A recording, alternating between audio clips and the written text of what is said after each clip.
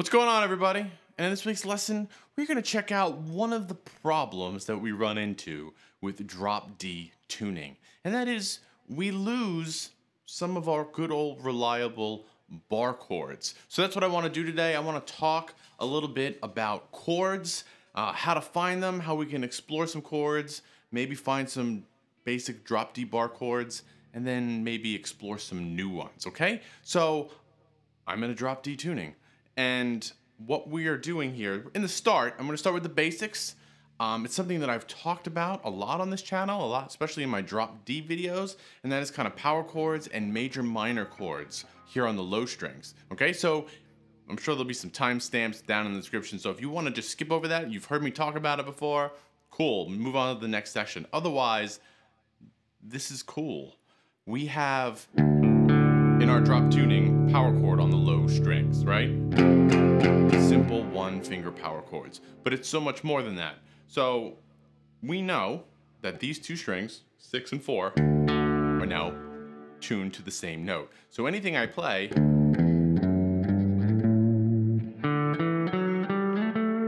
on one string is the same as the other. So just keep that in mind. So if I'm looking at this root note or whatever chord I'm playing, and I play a minor scale fragment, say a whole step and a half step, meaning five to seven, seven to eight.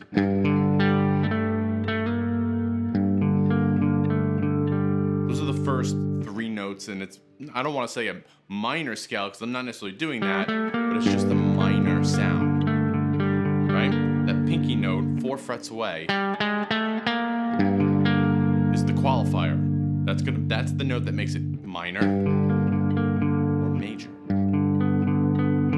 right? And before you tell me, it's a big stretch, Greg, I can't play that. You can, trust me, you can. It's not that hard. Especially if we're just focusing on the lower strings. Okay? You also have the root, the second, the minor third, and the major third. Right? We all know the second.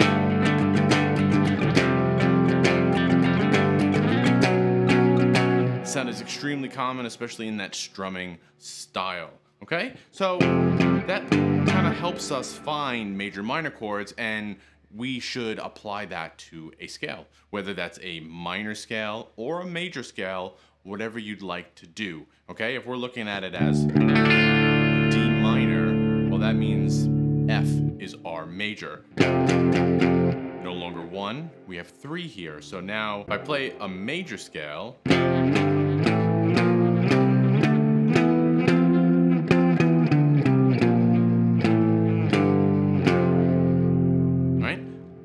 still hear the major scale, but I'm just playing power chords. We want to turn those into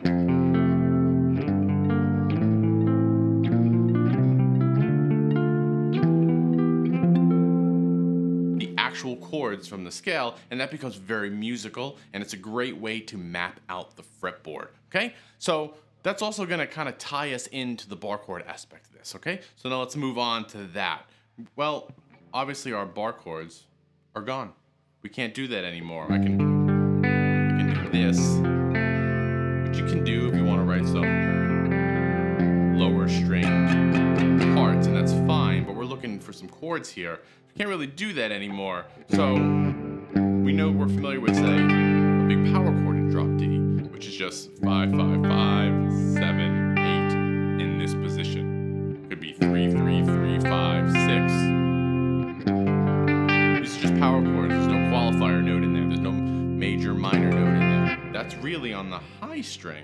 So if, if I take my middle finger here and I put it on six of the high string, well, there you go. There's my minor note. Now I have this big minor bar chord.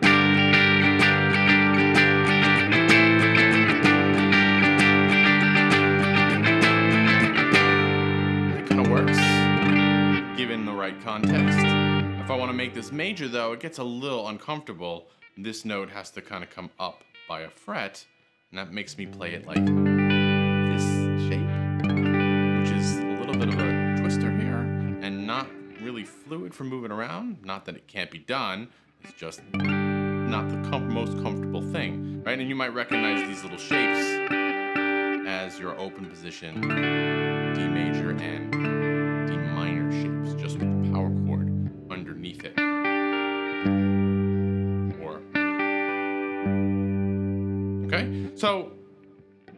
we've kind of talked about those, how can we maybe explore these notes um, or find other chords? Another one, since we've played this minor chord here, if I play the sixth fret with that chord,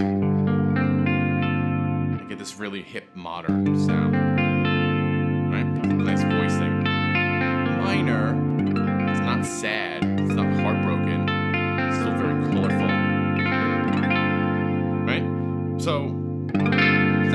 probably sounds good with the other minor, major chord, I mean minor chord.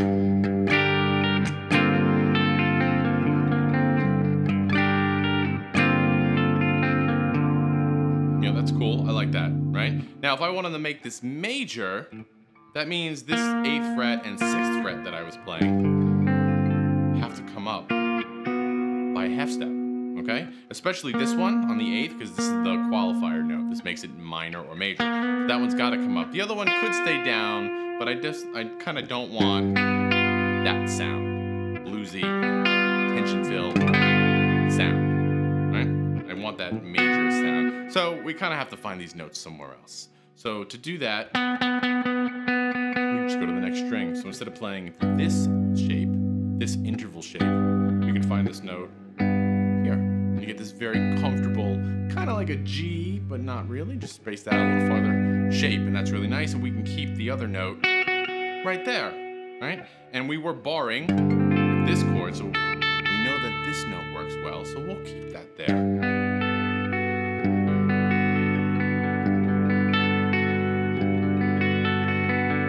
Right? I like the way that sounds. A little bit of a complication here. You can probably flatten out, which is kind of cool. Now, in the key of D minor, we can kind of play with this G or D Dorian. It's all right. Still minor is related. G and F. So let's do that, right? We're playing this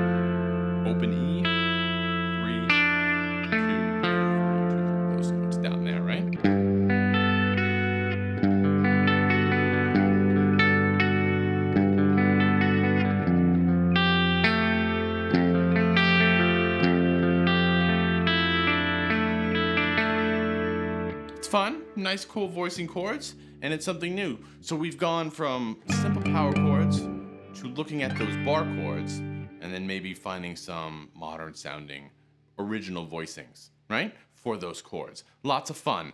Drop D tuning down in the description below. You can find a link for all of that stuff. And as always, let me know what you come up with. Until then, I'll see you next time. Thanks a lot.